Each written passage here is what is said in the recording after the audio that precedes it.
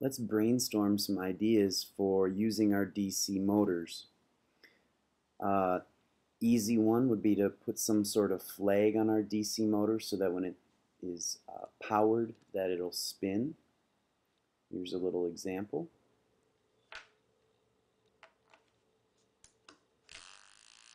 As you can see it spins my little uh, flag.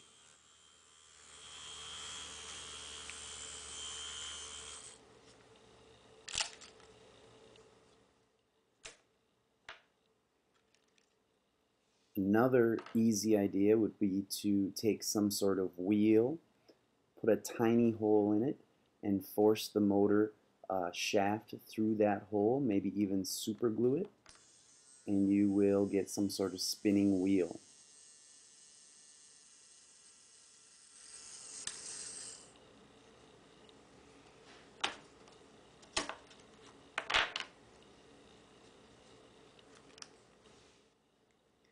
You may have noticed that our motors spin really fast. One way to deal with that is to use gears. So when I turn this one on, the gears are set up so that it turns the shaft more slowly. I have a much slower moving flag.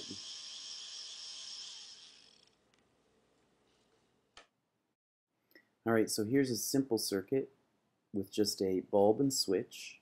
When I press the switch, the bulb lights. What would be really neat is if I could use a motor to turn the switch on and off and get a flashing light. I'm going to use a motor that is geared down so it's slower so it's not going so fast. I'm gonna connect it using some wires with alligator clips. And when I do this, I need to be able to have the motor always running. So that means that I'm going to need to use not a simple circuit, but a parallel circuit. You can see from this uh, diagram that there are really two loops for the current to run on and power the motor all the time while the other is a loop for the switch and bulb.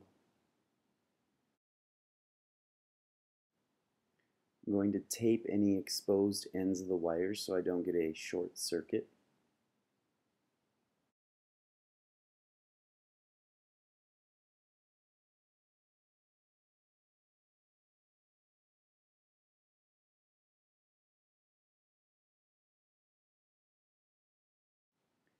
Alright, I'm just about ready. I have the wiring set up. I just need to connect the motor.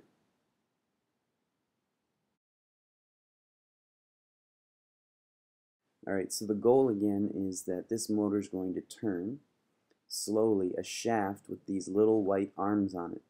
And these arms are going to press the switch, turning the light bulb on. So I'm just going to get it into position. Obviously on a sculpture or something you would mount this so that you uh, would never have to hold it and that it would always work. But now you can see that the arm is moving. I put it in position over the switch and watch the bulb that as the white arm hits the switch, it lights the bulb